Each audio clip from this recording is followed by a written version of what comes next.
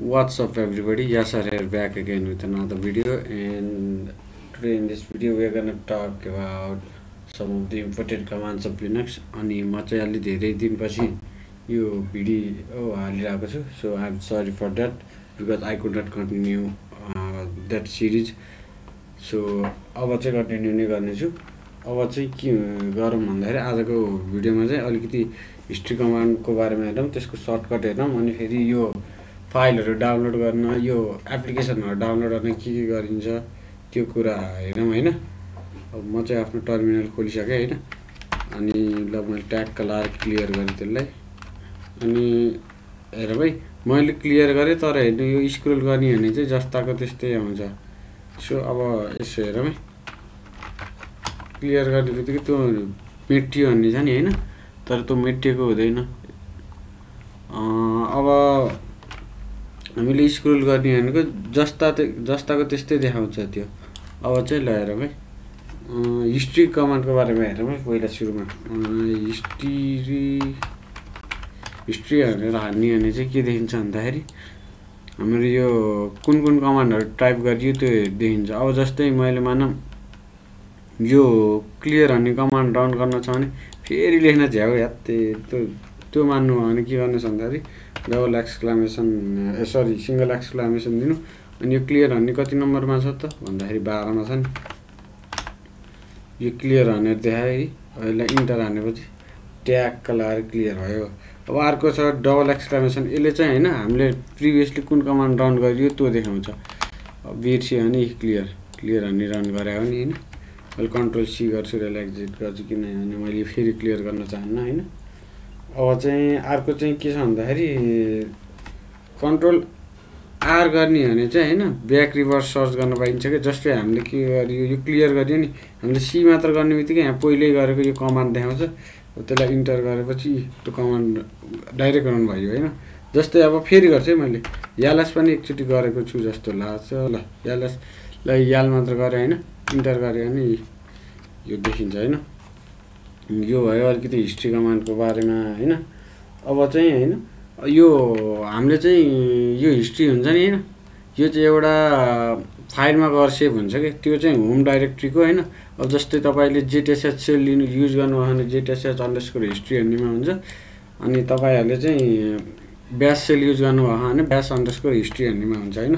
अब जस्तै तपाईँले कसरी थाहा पाउनु त मैले कुन युज गरेको? ब्यास युज गरेको कि जेटिएसएच युज गरेको कुन थाहा पाउने कसरी थाहा पाउने भनेर भन्नुहुन्छ भने तपाईँले के गर्नु भन्दा इको अनि फेरि यो डलर सिम्बल अनि यो भनेको यो ब्यास स्क्रिप्टिङसँग अलिकति रिलेटेड हो। यो लिनक्सको ट्युटोरियल भ्यासी त्यसको पनि ट्युटोरियल ल्याउने नै छु मैले। सो सब्सक्राइब न है।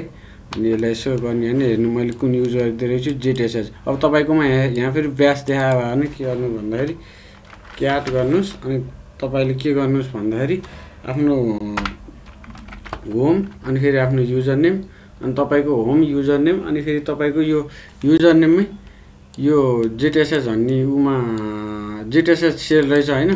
तपाईँले जेटिएसएच सेल युज गर्नु भने under underscore ZSH sorry sorry sorry dot ZSH underscore history भन्ने उमा हुन्छ होइन। अब तपाईँले यहाँ ब्यास युज गर्नु भने तपाईँले यो you can replace this ZSH with bash है। अनि हेर्नु भने ल अहिलेको कमान्डहरू देखियो होइन। जस्तै हिस्ट्री गरेँ भने पनि मैले सेम कुरा देख्छु।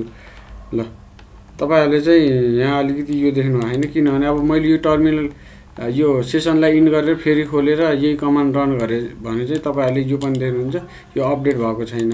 यो हिस्ट्री कमान्डबाट चाहिँ तुरुन्तै तुरुन्तै कि भर्खरैको भर्खरै अपडेट भइहाल्छ होइन। अनि तपाईँले के गर्न सक्नुहुन्छ भन्दाखेरि अप्याएर के गरेर त पहिलाको कमान्डहरू पनि रन गर्न सक्नुहुन्छ। अनि जस्तै तपाईँले क्लियर अठाउनु भयो अनि फेरि तपाईँले चाहिँ अहिले चाहिँ स्क्रोल गरेपछि मासतिर ल्याउनु मिल्थ्यो। अब जस्तै तपाईँले माउस युज गर्नु भने तपाईँ माउसलाई यस्तरी घुमाउनु भने माथिको कमान्ड आउँछ ल हेर्नु है। यी यस्तरी माथिको कमान्ड आउँछ। मैले उयो बटन पनि अठाएको छैन यसले चाहिँ माथिको कमान्ड ल्याउँछ होइन। अब यो भयो अलिअलि हिस्ट्री कमान्डको बारेमा होइन। अब जस्तै यहाँ के सिकौँ भन्दाखेरि एपहरू इन्स्टल गर्न सिकौँ है। जस्तै तपाईँको यो अब तपाईँले आशा गर्दैछु यही उबन्टु बेस्डै युज गर्नुभयो होला। अनि यो उबन्टुहरू चाहिँ डेबियन बेस्ड डिस्टोजहरू हो क्या अनि यसमा चाहिँ एप यो प्याकेज म्यानेजर भनेको ए एप्लिट्युड भन्ने हुन्छ एपिटी होइन? अब जस्तै तपाईँले केही इन्स्टल गर्नु खोज्नु भने अब जस्तै सेन्टोएसहरूकोमा चाहिँ यम हुन्छ अनिखेरि यो आर्च बेस्ड डिस्ट्रोमा चाहिँ प्याकम्यान हुन्छ। प्याकम्यानहरूको प्याकेज म्यानेजर पिएससी प्याक एमएनम्यानहरूको प्याकेज प्याकेज म्यानेजर यसमा चाहिँ अब तपाईँले केही इन्स्टल गर्नु खोज्नुभयो जस्तै मानव मैले टर्मिनेटर भन्ने इन्स्टल गर्नु खोजेँ भनेको चाहिँ के हो भन्दाखेरि तपाईँले एउटै टर्मिनलमा चाहिँ मल्टिपल यो सेसनहरू खोल्न सक्नुभयो क्या। अब यति यति भाग छुट्टाएर पहिला इन्स्टल गरेर ध्यान। सरी टर्मिनलको टर्मिनेटर भनेर हाने ल हेर्नु यो चाहिँ पहिले इन्स्टल छ यसरी नै तपाईँले सिउडो अनि सिउडो भनेको यो तपाईँले यो सिस्टममा केही चेन्ज गर्न खोज्नु भने सिउडो कमान्ड हालिहाल्नु पऱ्यो होइन। एप भनेको त्यो या प्याकेज म्यानेजरबाट इन्स्टल गरेर के भन्दाखेरि टर्मिनेटर भन्ने इन्स्टल गर्यो तपाईँले टर्मिनेटर हाल्नु भने ल हेर्नु। तपाईँले चाहिँ यहाँ देख्न सक्नुहुन्छ टर्मिनेटर जस्तै मैले चाहिँ यहाँ यस्तरी राइट क्लिक गरेर यो स्प्लिट होरिजेन्टल अब यहाँ यस्तरी यस्तरी युज गर्न पाउँछु यो एकदम राम्रो टुल हो। योभन्दा चाहिँ मैले के सजेस्ट गर्छु भन्दा तपाईँहरू टिमक्समा बानी गर्नु यसको पनि मैले ट्युटोरियल ल्याउने नै छु होइन? अनि सरी यसको पनि मैले ट्युटोरियल ल्याउने नै छु यसपछि।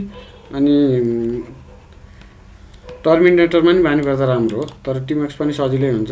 यी दुइटामा जुन युज गरिने हुन्छ यो मल्टिपल टर्मिनल युज गर्नलाई एकैचोटि होइन? अनि तपाईँले चाहिँ आफ्नो यो सिस्टमलाई चाहिँ ट्यागको त्यो आफ्नो आफ्नो सिस्टममा भएको एप्लिकेसनहरू ट्यागको अपडेट गर्नु भने सिउडो एप अपडेट सरी। अब त यसले चाहिँ के गर्छ भन्दाखेरि तपाईँको यो सिस्टमभरि सबै यो एपहरू हेर्छ।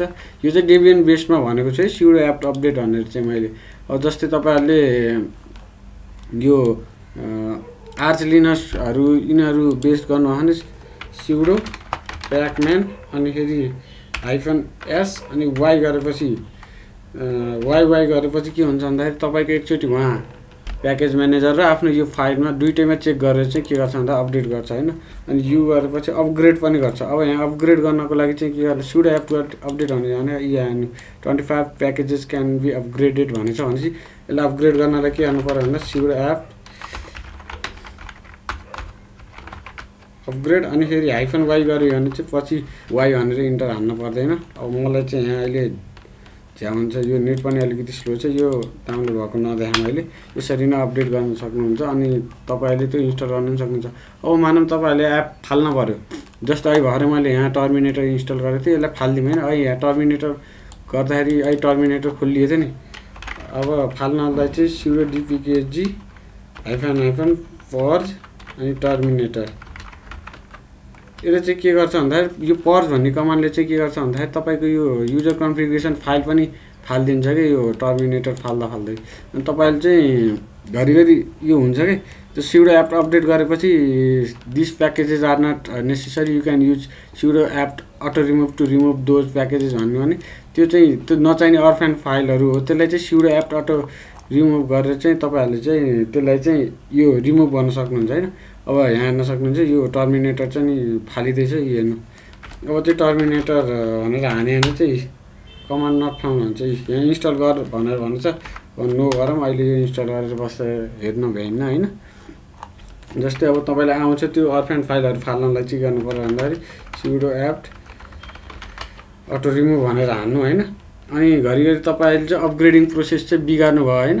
त्यो अपग्रेडिङ प्रोसेस बिगार्नु भयो भने चाहिँ के गर्नु भने अपग्रेड हुँदैछ। अपग्रेड प्रोसेस बिगार्नु भयो भने चाहिँ फेरि सिउडो एप अपडेट गरेर चाहिँ अपग्रेडिङ प्रोसेसलाई कन्टिन्यू गर्नुपर्छ होइन? यो चाहिँ भयो अलिकति अपग्रेड अनिखेरि इन्स्टल गर्ने बारेमा। अनि आजको भिडियो चाहिँ मन पऱ्यो होला भन्ने आशा गर्दैछु होइन? अनि यसो मन पऱ्यो भने लाइक सेक के के गर्नु मिल्छ सब थोक गरिदिनु होइन? अब आजको भिडियोलाई चाहिँ यति नै गरौँ हस्त धन्यवाद।